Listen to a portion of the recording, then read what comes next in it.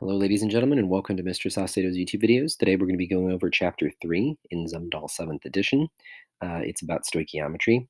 It does go through things pretty quickly, though, so it assumes that you actually know a lot about stoichiometry from your previous chemistry class, but if you have any questions, let me know. All right, so what is stoichiometry? So stoichiometry is the study of the quantities of materials that are consumed and produced in chemical reactions. Um, one of the hallmarks of chemistry is stoichiometry. And so, what we're going to start with is counting by weighing, which is like a practical skill. So, the first thing that we assume when we are doing something like this is that all of the objects behave as if they were identical, that they're all exactly the same, even though sometimes in reality that isn't necessarily the case. We also um, assume that atoms are much too small to be actually physically counted, and also that we need to average masses in order to get the mass of the objects that we're looking at because they're so small. So, a good example of counting by weighing that you could actually do in reality is if I gave you a pile of marbles and I said, This is how much these marbles weigh um, 394.80 grams. If I were to give you 10 marbles, let's say that weighed 37.60 grams, how many marbles are there in this jar or in this pile or whatever it might be? So we can already tell what we need to do. I would need to look and see, okay, how can I figure out what the weight or mass of an average marble is? And then can I look at the total and make a logical deduction? So a good way of setting that up would be something like this. I know that the average mass of one marble would be 37.60 grams divided by 10, so I can just do 3.76 grams per marble. And then if I have my total here, which is 394.80, I can just divide by that and get 100 and five marbles. Now notice that if this doesn't work out evenly, you can't have a fraction of a marble, just like you can't have a fraction of an atom. So you're always, if you're counting something like atoms, going to have to round to the nearest whole number as a means of figuring out, uh, again, you can't have like half of an atom or something. Okay, so let's look at atomic masses. This is section 3.2. So carbon 12 is our standard for finding atomic mass. And so carbon 12, that specific isotope of carbon, weighs exactly 12 atomic mass units. So we use the symbol U uh, for atomic mass units. And so notice though that right here, if you look at your nice little carbon on your periodic table, it says that it actually has an average atomic weight of 12.011, which is not 12 atomic mass units. So what we're going to talk about is how did we get from, you know, something like this, a standard, to 12.011. So what we need to know is that every single other element from the periodic table and every other atom. So even carbon, remember there's carbon 12, 13, 14. So this isotope specifically has exactly the atomic mass of 12. Um, every other element and every other atom is weighed in relative mass to the standard. So it's kind of like a starting point. Now, elements occur, though, as we just said, in a mixture of isotopes. So, carbon 12 is not really found in nature in its pure form. Instead, it is a mixture of carbon 12, carbon 13, and carbon 14. So, how exactly do we get this? And how are we able to use what we just learned in section 3.1 to fit with section 3.2? So let me give you the breakdown, okay? Carbon 12 makes up 98.89% of carbon that you find in nature. Carbon 13, 1.11%. And then right here, we have carbon 14, which makes up less than 0.01%. So just looking at these numbers, you can see that the average atomic mass is pretty close to 12, but it's a little bit more. And that little bit more is because of this stuff here. The carbon 13 and carbon 14 isotopes make up a percentage of that also. So the reason what the reason why we kind of average everything is exactly what we just looked at in section 3.1. We're finding the average atomic mass, not the exact atomic mass. So the way that we would write this would be, okay, I know that I have 98.89%, um, which is going to represent by um, 12 atomic mass units because that's our standard. And then I would weigh carbon 13. So carbon 13 weighs 13.0034 atomic mass units. Not exactly 13, but pretty close to 13. And that makes up 1.11%.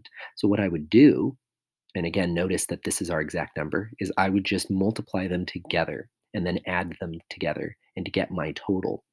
So right here, I've got my uh, first part here, which is my carbon 12 part.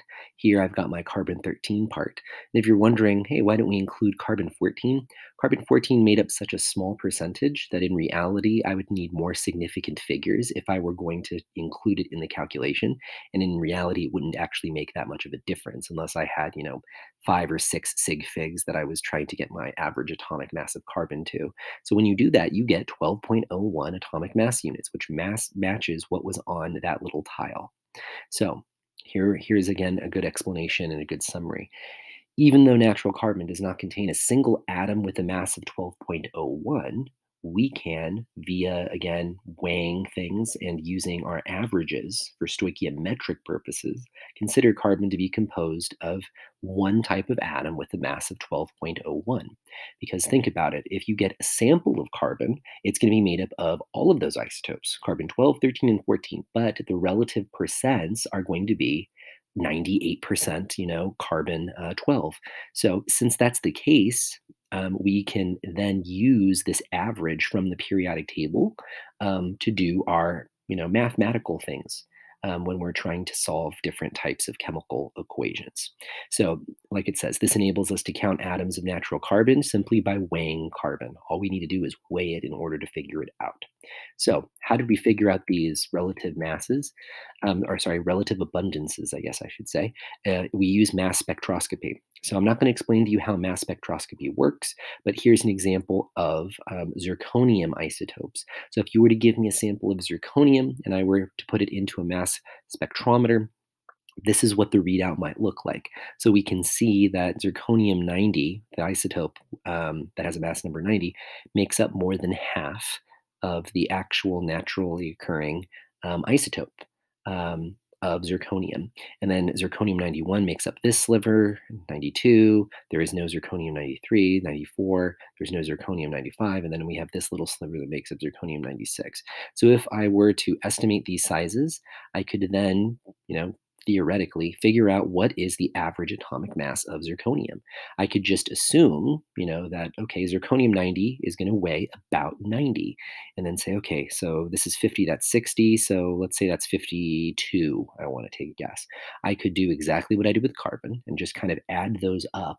And as I add up each one of these little slivers, that will tell me on average what a zirconium atom would weigh if I were to find it in nature. So I didn't know where to put this, but I'm just going to kind of insert that in this portion anyway.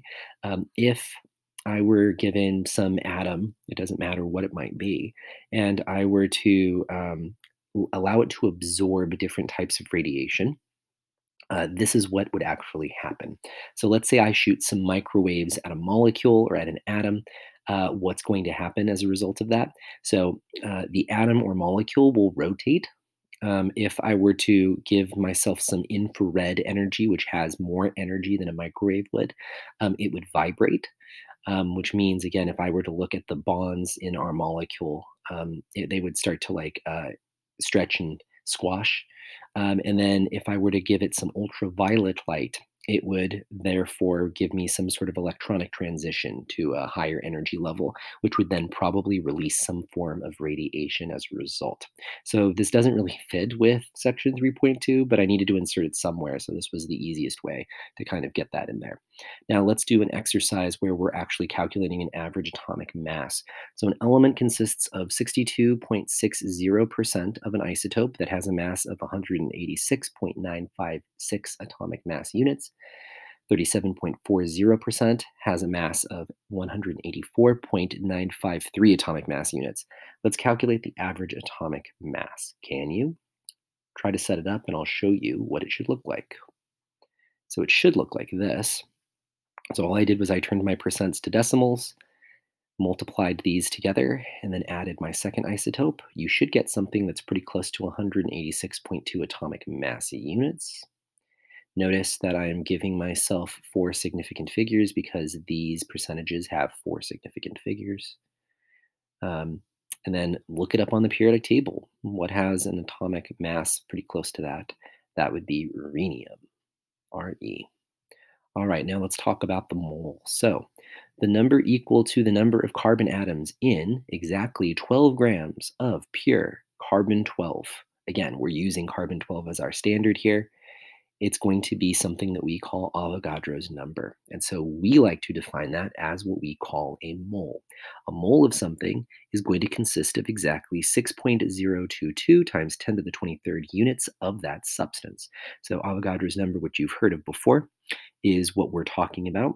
And so this is our equivalence. One mole of carbon is equal to 6.022 times 10 to the 23rd carbon atoms which is equal to the average atomic mass that we just calculated, which is 12.01 grams of carbon. So this gives us a practical unit. So we can't count atoms, but if I weigh this much on an electronic balance, I then can know that, okay, I have this many atoms in my little dish. And then because, you know, these numbers are so large, we like to define that as something that we call a mole so that we can do very easy calculations with those numbers. So for example, let's calculate the number of iron atoms there are in 4.48 moles of iron. So let's take a look at our periodic table and stuff and figure out what we would need to look at here. All right, so I've got iron.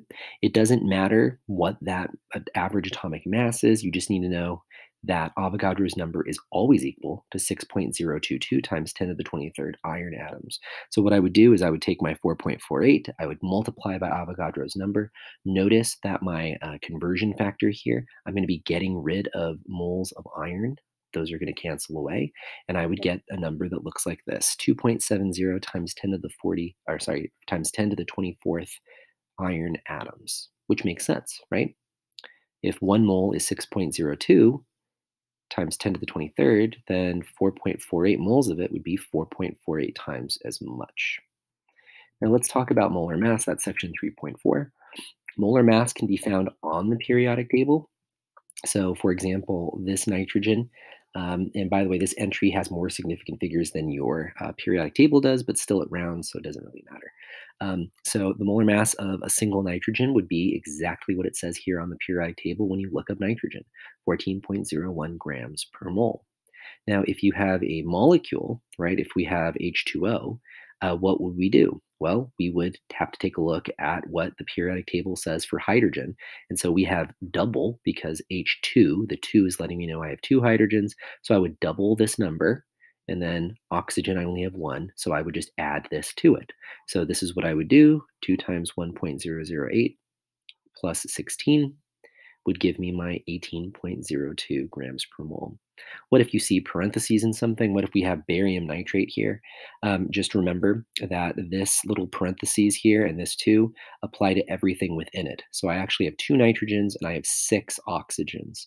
So given what I have here, I already have nitrogen and I already have oxygen. I just need to know what barium is, and barium is a gigantic element, it's 137.32 or 33, I guess I should say, since I'm rounding. And this is what it would look like. I would take my barium. I have double this for my nitrogen. I have six times that much for my oxygen. I get 261.35 grams per mole.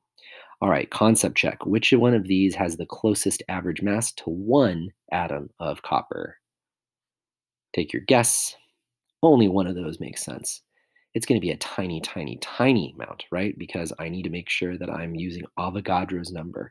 A lot of times people make the mistake and say, oh, yeah, well, you know, copper uh, weighs uh, this from the periodic table. But no, we're not looking at how much it weighs, you know, like, you know, a mole of copper. We're looking at one atom of copper. So just keep in mind this is what you would do. I would do one copper atom. I would have to divide by Avogadro's number to get to moles, and then I would have to multiply that by the uh, average atomic mass of copper. And so this is why a lot of people accidentally pick A, but no, the answer would be E. It's going to be a tiny, tiny, tiny, tiny amount. Calculate the number of copper atoms in 63.55 grams of a sample of copper. All right, see if you can do that. So this is what I would actually probably say. Oh, I don't even have to calculate anything. Remember that the average atomic mass is going to be equal to Avogadro's number. So if I look up on my periodic table and it says copper, you know, weighs this much to have one mole, then I have exactly one mole of copper. Which of the following 100 gram samples contains the greatest number of atoms? So magnesium, zinc, or silver. If I had 100 grams of each one of these, which one would have the greatest number of atoms? Take a guess. Answer. Magnesium. Think about it. Magnesium has the smallest average atomic mass here. So if I have 100 grams of it, I'm going to have more magnesium than I would zinc, than I would silver. Next one, rank the following according to the number of atoms, greatest to least. Now take a look. What do you think? There's a logical way of doing it, and then there's a not so logical way of doing it. I'll let you know, though, what they are first. So it should go zinc here, then it should go silver, and then we should go magnesium, greatest to least. Here's the reason why. Take a look at it. Silver is exactly what its atomic mass says, so it's exactly one mole. Zinc, on the other hand, okay, it's going to be a little bit more because I have 70 grams, whereas the average atomic mass is 65.39. Magnesium, on the other hand, is, you know, smaller, 21. And this has, you know, 24. So it's going to be under a mole. So even without doing any calculations, I would know that the answer should be zinc has more because it has more. Um, silver is exactly a mole, and then magnesium is going to be less. Consider separate 100 gram samples of each of the following. So I have 100 grams of water, I have 100 grams of dinitrogen monoxide, I have 100 grams of C3H6O2, and I have 100 grams of carbon dioxide. Rank them from greatest to least number of oxygen atoms. Think about that. Picture what it's asking you to do, and then take a look at what you think the answer might be. All right, let's take a look. The answer order should be the following H2O, CO2, C3H6O2, N2O. Now you might think, why or how? Well, I'm going to give you the calculations here, and then this is going to come back in a little bit, so I don't want to actually give away too much, but these are the amount of oxygen atoms in each sample here. But keep an, keep an eye on this because it's going to come back in a second. So let's talk about conceptual problem solving. How exactly do we learn to solve problems in chemistry? The first thing you got to always ask yourself is where are we going? Read the problem, decide on the final goal. I always say to underline whatever it's asking you to do, especially if it includes units. You want to make sure your unit always matches. Next, how do we get there? Work backwards. Think about where exactly do I need to go in order to get to where I want to go. You know, I want to get to my goal. Figure out what you need in order to get there. And then, last but not least, once you've figured it all out, does your answer make sense? This is something that people never do. And you get the weirdest answers whenever you don't actually check and see if your answer makes any reasonable sense. You get the strangest answers. All right. So, let's talk about the percent composition of a compound. So, what is the mass percent of an element? The mass percent of an element is equal to the mass of the element of the compound divided by the mass of the compound times 100. Makes sense, right? We're just basically finding a fraction here. So this is like, let's say, element X. This is the mass of the entire compound, and I would multiply that by 100. So how much iron is there in iron 3 oxide? This is iron 3 oxide. All right, I can figure that out. Let's figure out what the masses would be. So I have two irons in iron 2 oxide. So I would take my nice little molar mass here, multiply it by 2, and then I would find what is the molar mass of iron 3 oxide. So the whole thing has two irons and has three oxygens. So when I work that out, I get this fraction. I need to make sure that I multiply it by my 100 in order to get to an actual percent here. So it's 69.94% iron. That's how you find the mass percent of something. All right, great. So now let's go back to that problem that I told you we were going to like come back to. Now let's look and make sure here that we have our same 100 grams. Let's rank them from highest to lowest percent of oxygen by mass. See if you can do that. You have to find the molar mass of each one. Okay, we can do that. But look at the order. The exact same as before. Now think about what the previous question asked the number of oxygen atoms. Look at what this is asking you for the percent of oxygen. Obviously, if you have more oxygen in your compound, you're going to have a higher percentage of oxygen by mass. So, of course, it's going to be the same order. We didn't even have to solve that really. But here's what I would then do. So, if you found your percentages, water is 88.81% oxygen, carbon dioxide is 72.71%, C3H6O2 is 43.20%, and then dinitrogen monoxide is 36.35%. So, yeah, it matches exactly what we did in the previous problem. All right, let's talk about formulas. So empirical formulas are the simplest whole number ratio that a formula can have.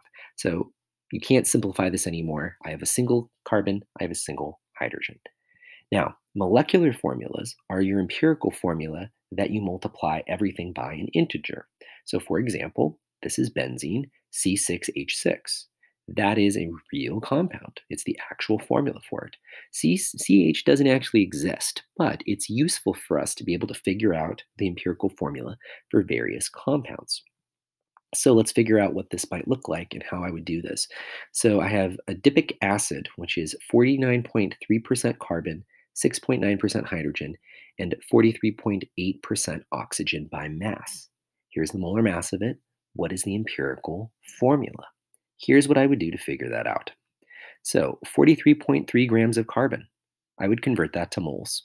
This is how many moles it is. How did I do that? 49.3 divided by 12.01. Great. Let's find out how much hydrogen there is. 6.9. Great. How many moles is that? 6.845 moles. How did I do that? Division. Next, oxygen. 2.7375 moles of oxygen. How did I do that? Division. Okay, now that I have moles, I can compare them to each other. So what I want to find is what is the ratio of carbon to hydrogen to oxygen? So how would I do that? Well, I would take the smallest one of these numbers, which is this one, 2.7375, and I would divide each and every one of these by that number. When I do that, what I get is I have 1.5 times the amount of carbon, 2.5 times the amount of hydrogen, and 1, a 1 to 1 ratio of oxygen. Great. Remember, we can't have fractions of an atom, though. So how can I make these nice whole numbers instead? I could multiply them all by 2. If I multiply them all by 2, I get 3, 5, and 2. That means that my empirical formula is going to be, oh, it got cut off, but still, C3H5O2. It's going to have this ratio. Now, Let's answer the second part to this question. Same exact question. What's the molecular formula? Because remember, the empirical formula is useful, but it literally just gives us the smallest whole number ratio. So now we're going to finally use the molar mass part, 146 grams per mole. So we found that this is our empirical formula. If I find the molar mass of this and I add everything up, I get that the molar mass of this molecule is 73.07 grams per mole. Now, the molar mass is supposed to be 146 grams per mole. So what can I do? Well, to get to, uh, to 146 from 73.07, I just multiply everything by 2, which means my molecular formula would be double uh, C6H10O4. And notice, pretty close, 146, 146.1. That's how you would determine the formula for any compound. All right, next. Representation of chemical reactions. All right, so here's a chemical reaction. Um, I've got C2H5OH, three oxygen molecules, and I am now making two carbon dioxides and I'm making three water molecules. So these are our reactants on the left side of the arrow, products are on the right. Notice that we always have an arrow separating one side from the other so that we know which are the reactants and which are the products. Now, for the same thing again. The equation in this case is balanced. What do we mean when we say that the equation is balanced? We mean that all of the atoms that are present in the reactants are also accounted for in the products. In other words, if I were to count how many carbons I have, I have two carbons here. I have two carbons here. How many hydrogens do I have? I have five, six. I have six hydrogens here. I have six hydrogens here. Same with my oxygens. You can count your oxygens. Six, I have seven oxygens here on this side of the arrow. I have seven oxygens here on this side of the arrow. So, what this is telling me is if I have a mole of ethanol and I react it with three moles of oxygen, I would produce two moles of carbon dioxide and I would produce three moles of water. That's how you read these chemical equations. Now, the balanced equation represents an overall ratio of the reactants and products, but it's not actually what happens during the reaction. This is just saying this is how you would equally be able to react your reactants to get an equal amount of products on the opposite side. So the use of the coefficients is basically just, you know, a way of figuring out the amount of reactants that are used and the amount of product that is being formed. That's what those coefficients are there for. So how do we write balanced equations? First thing you want to do, determine what reaction is occurring. What are your reactants? What are your products? Pro- products, sorry, and what are your physical states, if any, that are involved. Next, write an unbalanced equation. So make sure your reactants are on this side, make sure your products are on that side, make sure your formulas you wrote are correct. Next, balance the equation by inspection. Start with the most complicated molecule and make sure that you are able to get the same amount of atom um, atoms on one side versus the other. Now, like it says, um, you might not be able to do that immediately, but you should be able to get there eventually. The way that you kind of balance something is you change something on one side, and the chances are you will now have to change something else on the other side. And you keep going back and forth. Now, like it says, you never, ever, ever change the formulas of the reactants or products. If you do that, you're going to be making a very grave mistake. And now, here's our question Which of the following correctly balances the chemical equation below? There may be more than one correct balanced equation. If the balanced equation is incorrect, explain what's wrong about it. So we have Roman numeral 1, 2, 3, and 4. Which one or which ones balance it correctly? And then which one is going to be, if any, like it says, uh, incorrect. All right, let's take a look. So that one definitely is going to be balanced, right? If you count your number of carbon atoms and uh, calcium atoms and oxygen atoms, everything balances completely. This one also is fine. We used fractions in this case. It's okay to use fractions in a balanced equation if necessary. And then, yeah, this one also works. Notice that it's just this one double. The only one that doesn't work is this one here because they changed the coefficients of stuff. And you can't do that. We can't change the coefficients in something. You can't just add a 2 here and say, okay, and now I have CaO2. CaO2 doesn't exist. All right. So which of the following is true concerning a balanced chemical equation? There may be more than one true statement. What do you think? Number of molecules is conserved. The coefficients tell you how much of each substance you have. Atoms are neither created nor destroyed. The coefficients indicate the mass ratios of the substance used. The sum of the coefficients on the reactant side equal the sum of the coefficients on the product side. The only one that's correct there is going to be atoms are neither created nor destroyed. All the other ones, some of them might be true in certain situations, others not true, just at all. So let's notice the number of atoms of each type of element must be the same on both sides of a balanced equation. Subscripts can't be changed. Also, balanced equations let us know the ratio of the number of molecules which react and are produced in a chemical reaction. Coefficients can be fractions. Although we like to give them as the lowest integer, um, you know, they're totally fine to use fractions just for mathematical purposes when you are using them in such a way. All right, now calculating the masses of reactants and products and reactions 3.10 told you this was going to be a long one. So first thing you want to do always balance your equation. So hopefully you get good at balancing equations because you're going to be asked to balance tons of equations. Next convert the known mass of the reactant or product to moles of that substance. Next use the balanced equation to set up the appropriate mole ratio and then use the appropriate mole ratios to calculate the number of moles of your desired reactant or product, and then finally convert back to grams if required by the problem. So I know that sounds weird, but this is kind of what you do. You're going to be given a mass of a known substance. You're going to convert that to moles. You're going to find your mole ratio. The way you find it is by looking at your balanced chemical equation.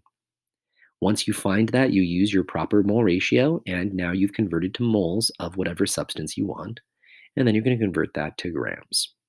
So it looks complicated, but really you balance your equation, you go through this process, find your mole ratio, plug it in, and then you get your answer if required to convert to grams. Normally you'll be required to.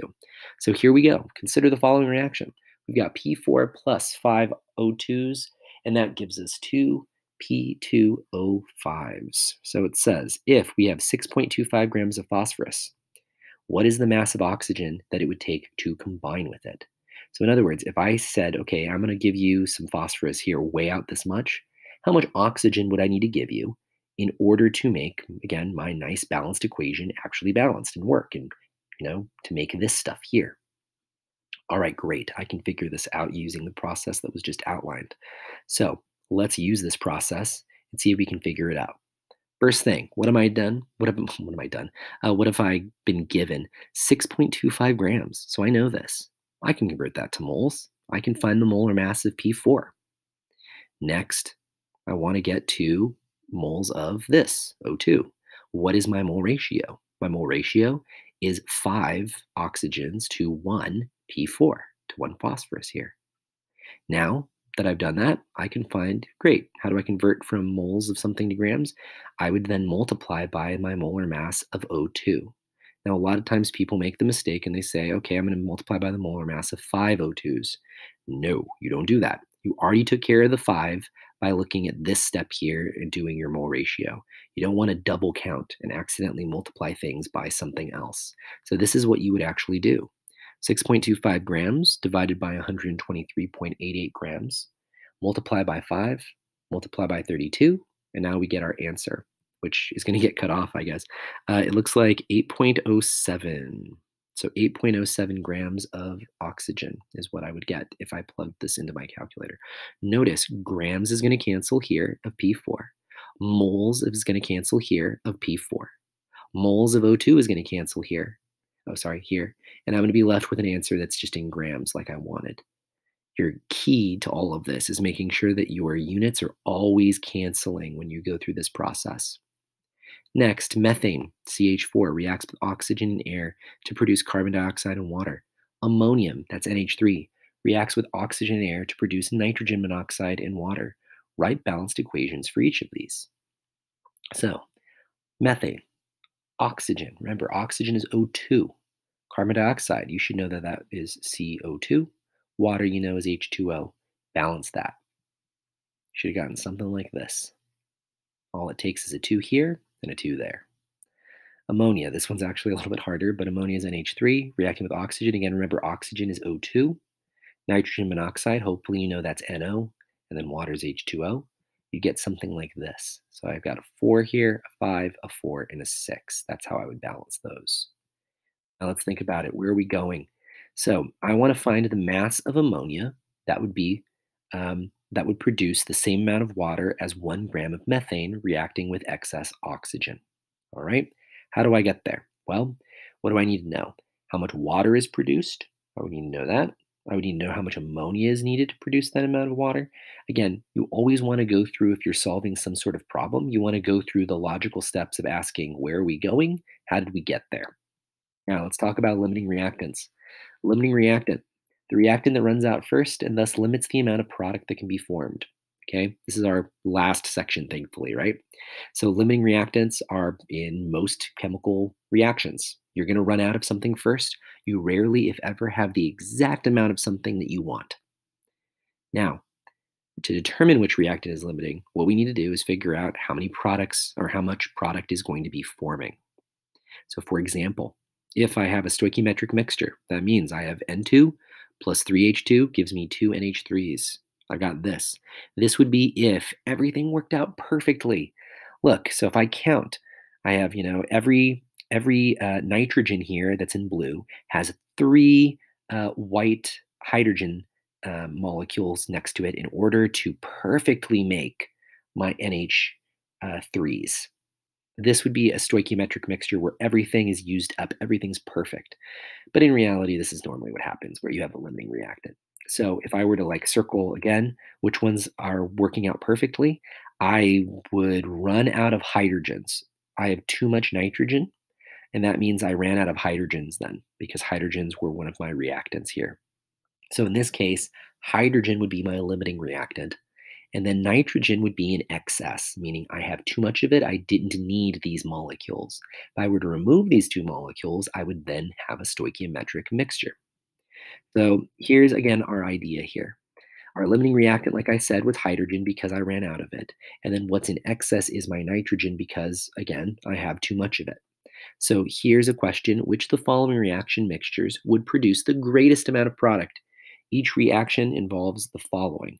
I have two hydrogens plus one oxygen gives me two H2Os. So what if I had two moles of hydrogen and two moles of oxygen? Or 2 moles of hydrogen and 3 moles, or 2 moles of hydrogen and 1 mole, or 3 moles of hydrogen and 1 mole of oxygen? Or would they each produce the same amount? Think about it. They would all produce the same amount. I know that sounds weird, but again, work it out. Which one would be in your each case here our limiting reactant, and then how much product would we be able to form as a result of that? Just think about it, right? In each one of these cases, I have hydrogen here and I'm running out of oxygen. So I don't have enough oxygen to be able to make anything else. I would actually make the same amount each and every time. So notice we cannot simply add the total number of moles of reactants to, uh, to decide which reactant mixture will make the most product. So in the previous example there, you saw different situations with different amounts, but yet we still made the same amount. That seems a little weird. So we always have to think about how much product we will be able to form, and we use, like it says, what we're given and our ratio to figure that out. So here is a concept check. You know that we have chemical A that's reacting with chemical B, we react 10 grams of A with 10 grams of B. Great. Which one am I going to run out of is the question here. How much product am I going to make? Now, before we do that, I want you to think, hey, what would I need to be able to actually have? Like, what additional information would I need in order to do this? What do you think you would need? And I'll tell you right now. So, to determine this, right, I need to know what's my mole ratio between A and B. Is it a one to one? Is it a 1 to 2, 2 to 3? What is it? Next, I would need to know my balanced equation, right? That's kind of what the mole ratio gives me. I also need to know how much do these things weigh? How much does A weigh? How much does B weigh? How much does C weigh? You know, whatever the product is, whatever we're making here, how, how much does that weigh? Otherwise, I'm not going to be able to answer this question at all. So let's give you some more information. I react 10 grams of A and 10 grams of B. What's the mass of product? Knowing the molar mass of A is 10 grams per mole. Molar mass of B, 20 grams per mole. Molar mass of C, 25 grams per mole. And they react according to the following equation. Oh, yeah, let's figure this out, right? So, again, great. A goes with this molar mass. B goes with this molar mass. I can use that. So, by setting up a simple um, equation here, 10 grams of A, I can divide by the molar mass that I was given here, right here, 10 grams. And then I can use my balanced equation because I want to know how much product I'm going to make. So I'm going to say, okay, two moles for every one mole. I would make two moles of carbon here, or sorry, carbon of C. Next, let's do what B would be. All right, so I've got 10 grams, great, weighs more, so divide by 20. And the mole ratio is different for this one. It's a 2 to 3 ratio. So I would make 0.333 moles of C. Now, how you figure out which one of these is our limiting reactant and which one would actually work is you just look at whichever one of these is smallest. So in reality, if I, you know, again, if I'm just looking at this as an outsider, I would only be able to make this. Two moles is too much. I would, I'm limited here. So in reality, B is my limiting reactant. That's the thing I'm going to run out of. A is my excess reactant. It's the number that is bigger here. But now I have to figure out, great, one more step. I need to get how much C is there? How much would I make there? So let's figure that out. You can't really see it, but I'm using now 0.33 moles of C. And what I'm going to do is I'm going to say, great, I have this number of moles of C. I'm going to multiply by my molar mass, which is 25, and that's going to give me 8.33 grams of C. So my answer would be I would make 8.33 grams of C. And I did that by looking at uh, the information that I was given in the problem. So looking at A and looking at B and figuring out that B is my limiting reactant. It's the one that's going to give me less. All right, so our last part here is about percent yield. So percent yield is an important indicator of the efficiency of a particular reaction that we're looking at. And the way that we calculate it is we look at the actual yield divided by the theoretical yield and we multiply by 100 that gives us our percent yield of you know how good basically we were at doing our reaction. So theoretically the closer you are to 100% yield the closer you are to your efficiency your you know your you used the exact amount of stuff that you were supposed to use in your reaction to get your maximum yield your maximum result okay? Now if you get over 100% yield that means you made some sort of mistake. You made an error um, you may have miscalculated something uh, you may have accidentally done something like uh, not dried out something enough and it's wet. And so now there's water in it, which is adding weight to your yield here. On the other hand, if your yield is less than 100%, like really, really low, let's say it's like 20 or 30%, you probably made some gigantic mistake in your lab. Now, let's figure this out. So let's say I have phosphorus, I've got fluoride gas here, and then I'm making um, phosphorus trifluoride. So this is my uh, balanced equation here. It's asking me what mass of P4 is needed to produce 85 grams of P5, PF3, sorry, uh, if the reaction has a 64.9% yield. All right, that's a lot harder than just plugging in your actual and your theoretical, and that's it. So let's think a little bit about what this means. So I have 64.9% yield, right? So I know that if I had 85.0 grams, um, then I would need to figure out, okay, great, what is my, you know, bottom part here of that fraction, okay? So by doing that, I would be able to figure out, so 85 divided by what times 100 would give me 64.9%. That would be 130.97 grams of PF3. Great. Okay, so I know I have my starting point. Now I got to go through and figure out, okay, what would be that mass of P4 that I would need, right? So all I got to do is think about all the stuff we've been doing and plug it in and see if it works.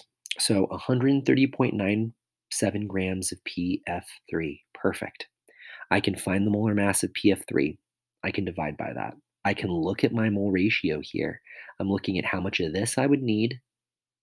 And then I have four of these. So I have one to four ratio between what I want and what I was given. Then I can find my molar mass of P4. That's 123.88 grams. And then that will give me my answer. Okay, so again, take a look at this. Make sure that this makes sense to you. Notice my grams of PF3 are going to disappear. My moles of PF3 are going to disappear. My moles of P4 are going to disappear, and I'm going to be left with grams of P4. So you always got to look at it and say, great, it gives me this. How do I get to this? And what is the answer? End up being 46.1 grams. And so that's how you would use our nice theoretical actual yield in a more complicated example than them just saying, hey, plug this in, plug this fraction in, multiply by 100 and get your percent yield. All right, that's the end. So if you have any questions, please let me know.